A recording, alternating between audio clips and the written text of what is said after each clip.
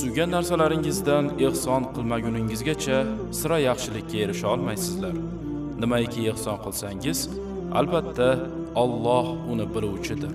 Oli imron surasi 92 oyat.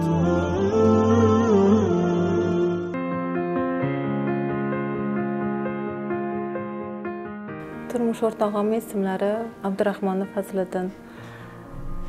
Dekabrdan beri betob bo'lib qoldilar. Давлениялari chiqishni boshladi. Doktorlarga ko'rindik davolatdik. Dorilanishganlaridan keyin e, ko'ngil aynish bo'ldi qusish bo'ldi. Keyin e, qon natijalarini ko'rib e, buyraklari ishlamayotganini doktorlar aytishdi. Hozirgi paytda buyrak yetishmovchilik diagnozi qo'yilyapti. Beshinchi stepen umuman ishlamay qolgan buyraklari dializga tushdilar ekstreniy mazalari bo'lmay isitmalari qirqqa chiqdi yurolmay qoldilar yotib qoldilar doktorga anaqaga olib borsak ekstreniy tomonlaridan teshib dializ qilishdi kateter qo'yib hozirgi paytda dializga qatnayapmiz doktorlar bular hali juda yosh o'shanga operatsiyaga пересадкаga harakat qilaveringlar deb maslahat berishdi sog'liqlari tiklanib ketadi shunda uch nafar farzandimiz bor hali voyaga yetmagan. Ozgina qiynalib qoldik. Dori darmonga ham dorilar ham hammasi qimmat hozir ham operatsiyaga ham sharoitimiz yo'q. O'shanga saxiylar bo'lsa imkoniyati bo'lsa ozgina yordam so'rab keldim. Xudo xohlasa operatsiyalarni o'tkazib olsak hammasi yaxshi bo'lib ketadi. Xo'jayinim o'zi avtoshkolada dars berardilar. Necha yildan beri shu yerda ishlaydilar. Hurmatlari ham katta o'quvchilari rosa ko'p.